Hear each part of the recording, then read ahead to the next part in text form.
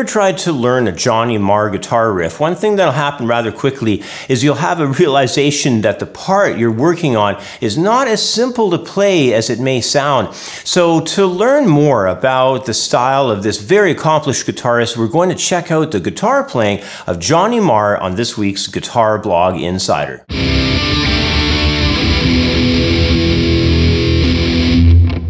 You know, Johnny Marr is one of the best guitar players out there when it comes to executing a flawless groove on a guitar riff, yet keeping the part both simple and in the pocket and having it remain uh, on top of everything else understated within the song. You know, he's got this way of playing that's both busy, he's a smooth player, yet, you know, when you look at the way he's organized lines, they're simple enough to just stay in your memory even on the first listening of one of his guitar parts.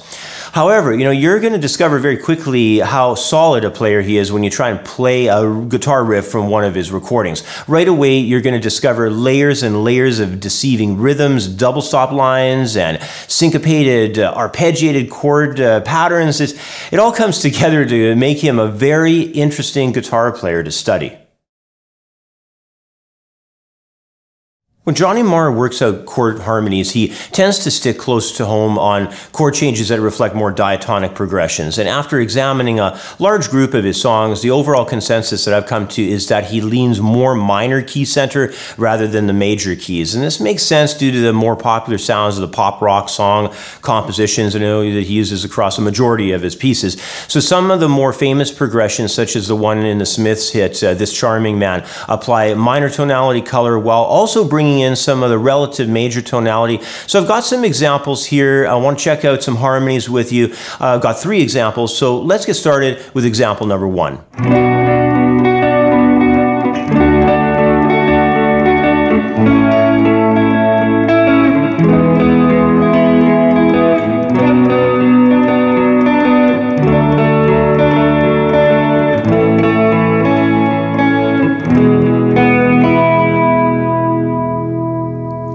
Well, the chord changes that I'm going to start with here are fairly basic minor key harmony. It's uh, laid out as uh, example number one here, and um, you know, the chord changes are just going to go from a B minor into the three chord. That's the tonic chord. The three chord is D major, and then we're going to move to the seven chord of the key. It's an A major, and we're going to wrap up into a major four chord. It's going to be an E major, and note that the major four chord, the E, it, it promotes the subtle effect of Dorian mode in here. So just always keep in mind that you know while these progressions they may mostly be diatonic. Uh, you know, he's going to sometimes not really remain exclusive within the basic major or minor uh, sound. So watch out for that. So uh, what I'm just doing is uh, I just picked across using sort of a picking method here of going through the string sets uh, between uh, you know the mainly the second to the fourth strings.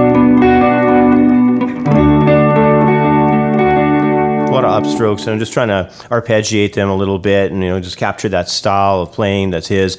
And I'm moving through uh, the chords. Uh, first of all, starting a little higher on the neck. And then I'm going to move a little bit lower down, just give you an option of some voicings there too. And I've got quite a bit of reverb and uh, chorus and some delay on this guitar sound that I'm using. So, you know, start off with things like that, you know, move through chord changes, try to utilize them across multiple positions of the neck, and just try to get some uh, pick action going in there, you know, where you're picking across different string sets. You can come up with the way that you're approaching your picking pattern, but, you know, you have to get something going on to start uh, simulating the effect that uh, he's using in most of his tunes, where he's targeting string sets with some kind of a distinctive picking pattern. So, anyway, that's uh, example number one.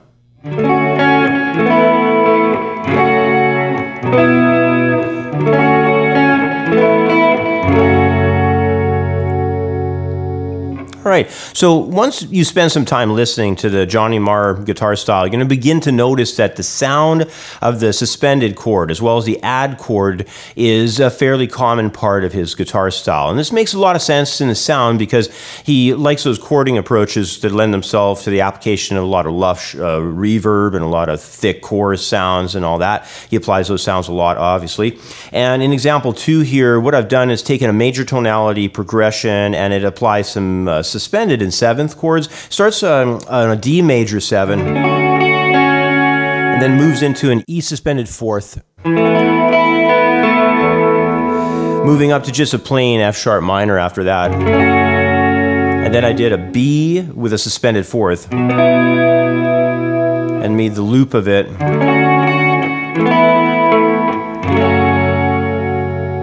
So here we go again. D major 7, E suspended fourth, F sharp minor, B suspended fourth.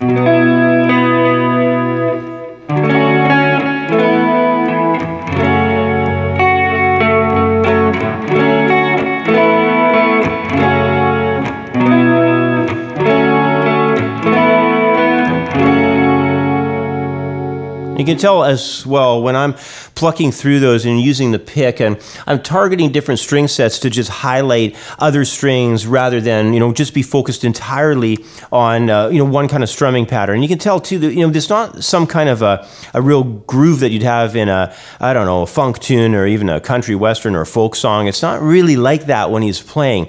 It's, he's highlighting uh, ideas and parts of the chord, almost treating the segments of the chord into individual, you know, clusters of notes. So keep that in mind because, you know, it's a huge part of his sound and it's uh, definitely something to practice and get better in your own playing.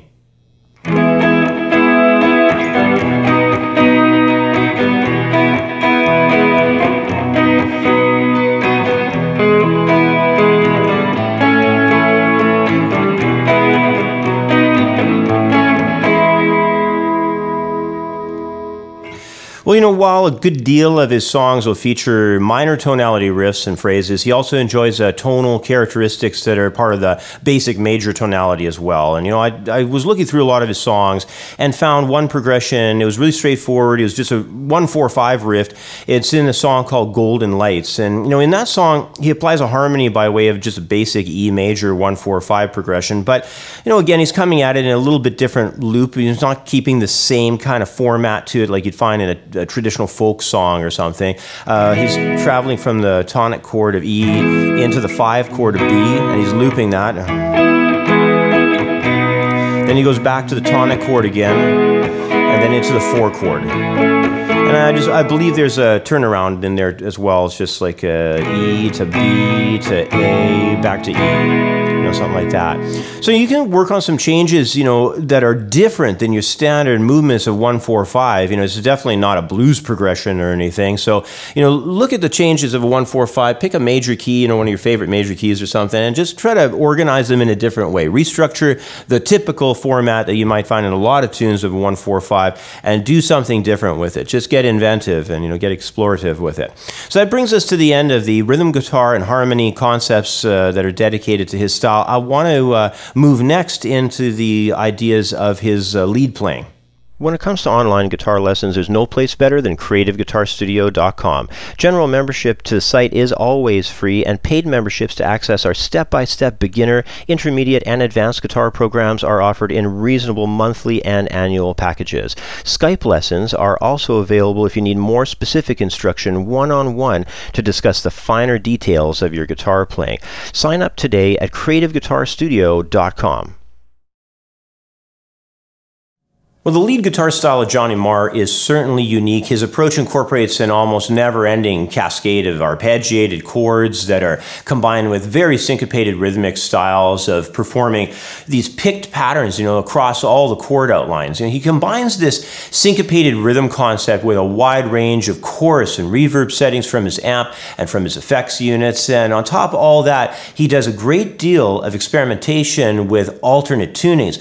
So what we're going to start off with here is we're going to look at a riff in open E major tuning, and it's an interesting, you know, collection of ideas. It's very similar to the lead riff ideas that uh, Johnny Marr likes to play.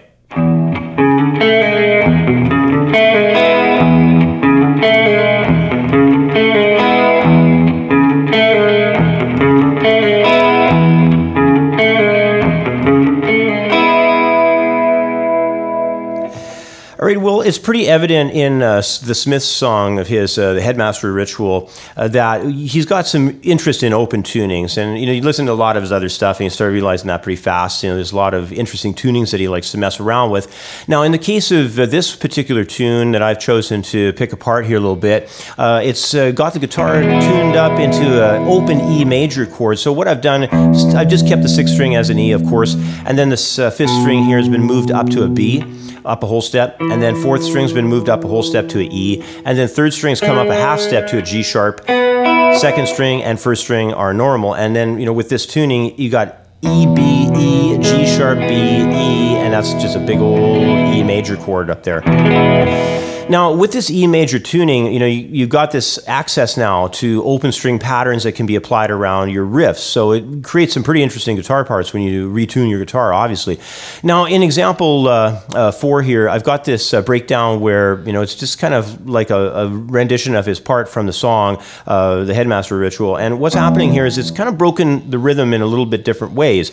Uh, starting off, uh, I've got the metronome cranked up to 142 on this one on the chart, and I'm going to start off there on the uh, open sixth string, and that's going to be a beat and a half with a uh, dotted quarter note there. So one and two and three and four. So the rest of the measure is all uh, eighth notes uh, riding up into that quarter note at the end there. So one and two and three and four. So that's the first measure. It's kind of laid back with that dotted quarter note up front. But after the first measure, we're just going to do a run of eighth notes right off the top of the second measure. And it's going to go like this one and two and three and four. Now, what's happening there in terms of notes is we've got open sixth, open fifth, and then we're running up second and third frets, just like we had done at the start of the uh, first measure.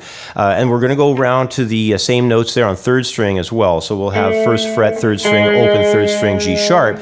And then what is going to happen at the end of that measure is we're just going to strike some open strings, the top three strings open on the top there, and that's going to be a quarter note at the end. So putting it all together, we've got uh, the dotted quarter note phrase with the eighth notes up front. Then on the second half of it, we're doing a run of eighth notes into that quarter note that uh, takes care of that uh, chord at the end. That's the top three strings open.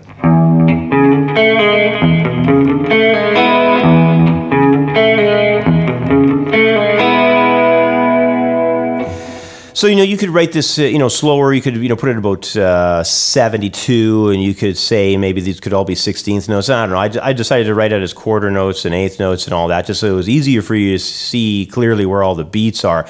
And you know, the thing too is once you come into this tuning and you start experimenting with uh, with the sound of new tunings, uh, the Johnny Marr style. Remember, it takes care of things in terms of very different kinds of rhythms. So break the rhythms down very differently as well. You know, when you're in these different tunings, because uh, the sound of how the rhythm structures are going to all operate, that's a big part of his style. So I still have one more riff for you yet. So uh, let's uh, check that one out next.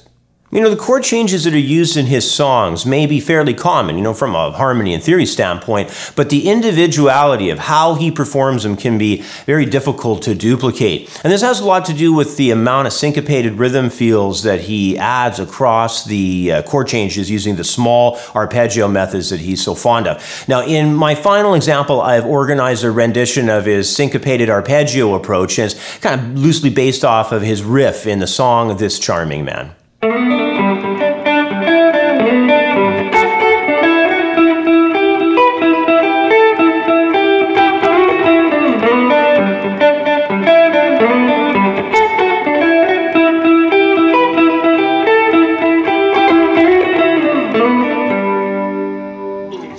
Right, this is the picking pattern stuff that you've been probably waiting for. This is the real Johnny Marr style. You know, this uh, approach that he has with picking riffs and organizing the outlining of chord changes. It's just, you know, it's the sound that you really think of when, you know, you think of Johnny Marr. Now, the groove that I've got here for you in this part, it's just going to follow kind of this, you know, never-ending small chord changes in a cycle across a series of rhythm changes here. So just work slowly with the pattern that I've got for you outlined. It's kind of hard to keep up with the groove, you know, at first when you're trying to play it faster, but, you know, as you practice it more and more, you'll get the changes down after some of your study on it. Now, uh, in example five here, this Johnny Marr style chord outline technique, uh, it's very syncopated, it's a very syncopated rhythm approach that's uh, using a lot of riffs through the song. Uh, that's, you're kind of knowing this maybe more so as the, a similar riff out of the Charming uh, Man, so, this Charming Man. So, uh, anyway, let's uh, take a look at what th this thing's doing here. Uh, I'm moving very quickly off of the third string with a slide that happens from second fret, you know, over into the fourth fret there. Grabbing up into this third fret, second string D. Then pedaling over into this fifth fret uh, G tone that's off fourth string. Heading back to the D up there And then what you got to do is at the end of it, you got to grab an E traveling to a D on second string.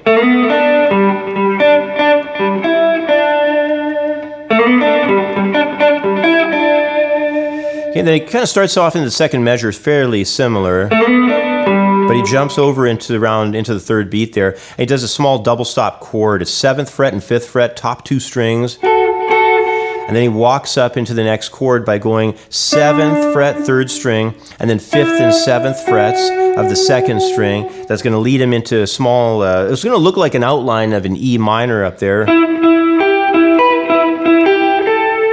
And he's pedaling around that area. So he's mostly working within the triad. Just that straight across, uh, sort of, you know, diagonal shape like that. But he's walking up, you know, he's taking the 8th fret and the 10th fret to walk up there, and then he's going to cycle it a little bit again, hit the two note chord, slide forward with that one, then walk down on the 3rd string, 11th fret, 9th fret, 7th fret. So it's a little bit more in terms of uh, in position playing. It's more in position with that triad being the main focus of the second half of the riff here. But um, it's just the rhythms. You know, it's, it's, they're so syncopated and you know abstract.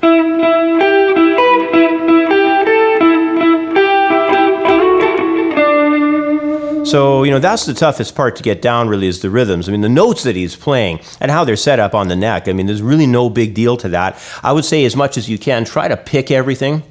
Uh, me being such a uh, big believer in hybrid picking, I'm forcing myself not to do any hybrid picking with this. But you know, the, the sound of Johnny Marr seems to be very much based upon the flat pick, So you know, watch out for that.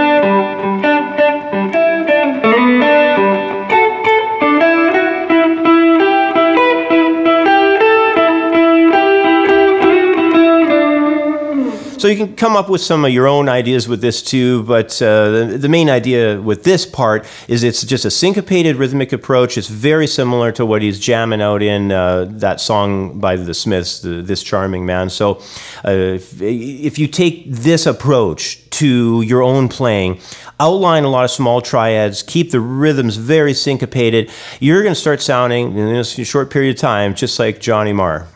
You know, Johnny Marr is one of those guitar players who's able to produce parts that have a noticeably unique sound to them from his varied types of open tuning that he likes to apply and how he incorporates, uh, you know, just other things like capos as well as all the different effects with that, you know, wash of chorus and reverb that is such a big part of his sound.